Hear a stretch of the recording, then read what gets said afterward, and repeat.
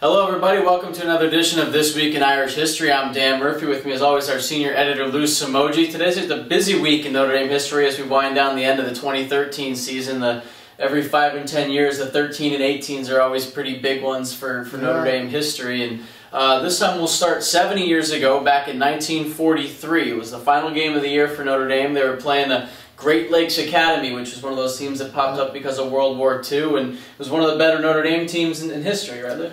Probably the toughest schedule in college football history. And uh, the reason that game comes to mind, the Great Lakes, is watching the Auburn Georgia game last week. And you think to yourself, gosh, has Notre Dame ever lost a game like that? And the last school in the world that should ever lose on a Hail Mary pass is Notre Dame, named after Mary and everything. But um, that 43 game Notre Dame's 9 0 ranked number one. And back then there were only 76 college teams playing. Uh, most of the SEC didn't have teams, others uh, didn't either because of the World War II Russian. So they created these semi pro Iowa pre flight and Great Lakes Naval with a lot of former college players, plus also future college players. Like one of them was Emil Sitko, who was a four year leading rusher at Notre Dame from 46 through 49. He played for Great Lakes. But anyway, Notre Dame goes ahead late in the final minute, and then uh, Great Lakes wins with 33 seconds left on a Hail Mary pass 19 to 14. But Notre Dame was still awarded the national title the next day. Why? Because the team that finished number two, Iowa Pre-Flight, Notre Dame defeated. The team that finished number three, Michigan, Notre Dame defeated. The team that finished number four, Navy, Notre Dame defeated. Plus, oh, the number nine, the number 11, and number 13 teams also that year, Notre Dame defeated. So six teams in the top 13. Only one other team right. ever defeated the number two, number three, and number four teams. That was the 71 Nebraska team, who many consider maybe the greatest in college football history.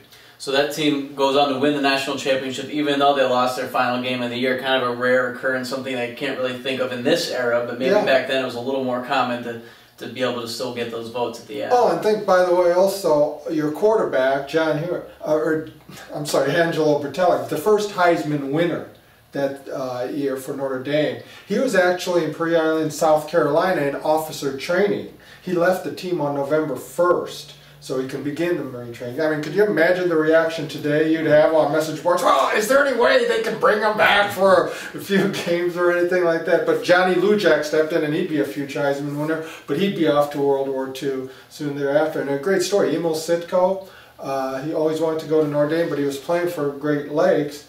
And after the game, he met with Coach Leahy uh, of Notre Dame. And he said, Coach, how you doing? He said, not so good, Emil. My team lost today. And Sitko's memorable response was, "So did mine." So a little you know, different, a, era. different era, right. definitely different era. And so, when did Bertelli find out about the Heisman? Was he over? Yeah, he got a telegram. Um, he was just coming out of uh, Quonset Hut, he said, and somebody wired him a telegram saying, "You just won the Heisman Trophy." And this came, you know, not you know, I, almost minutes after they lost to Great Lakes. So he said one minute he was just down, and then the next minute it was he perked up. And then it also helped that Dame, you know, won the national title as well. Who were some of those 7, 9, 10, 11 ranked teams or those other big powers that they played then? Well, uh, you had Northwestern finish number 9th, Army, which would go on to win the national title the next two years with the Blanchard and Davis combination, and it was really stockpiling. Uh, Georgia Tech uh, finished 13th uh, that season. Notre Dame defeated them 55-13. It defeated Michigan at Michigan 35-12. So it was like, uh, you know, that Bertelli won the Heisman, and Creighton Miller was number four, their halfback, who led the nation in rushing, and then Jim White, a lineman, was number nine for Notre Dame. So they had three in the top nine for the Heisman voting, which I, I don't think you might ever see that again. Well, like we said, a busy week this week for uh, Irish history. All two other national championship teams had kind of monumental or happenings this week. There was the 1973 team. This is important because uh, November 22nd they played Air Force on Thanksgiving Day. Uh, you know, 40 years ago, 50 years ago, 40 years ago now, and that was uh, the the last time Notre Dame yeah. Stadium wasn't a sellout. I, I was at that game actually, 11 years old, and beautiful day in the six, about 63 degrees, but it was part of a doubleheader on ABC. This was when you could appear only three times over a two-year period on national television, but the first game was Notre Dame versus Air Force, and Notre Dame already received the invitation to play in the Sugar Bowl. And the next game was Alabama LSU. The winner of that game would play Notre Dame in the Sugar hmm. Bowl. So kind of some things like similar to last year and all. But what was also fortunate was Ohio State was number one and Michigan was also ahead of Notre Dame that same weekend.